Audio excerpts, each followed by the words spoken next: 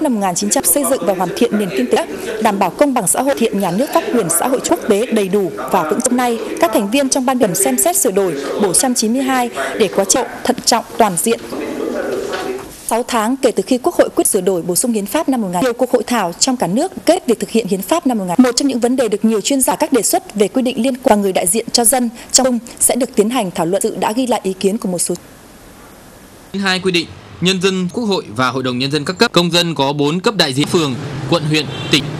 Tuy nhiên kiêm nhiệm nên vai trò đại diện. Đánh giá của nguyên bộ trưởng bộ tư pháp. Bốn ông đại biểu. Nhưng thực trực gì cho dân? Trong một người dân mấy lần nhúng tim hồ như không quên đấy. Mình báo cho ai? Diện là một người thay mặt. Tức là phải thường xuyên cử tri. Mà cử tri tìm đến mà giải quyết công việc của mình. Khi mà người già tại các cuộc hội thảo về sai cho rằng bản hiến pháp rộng quyền làm chủ của người dân.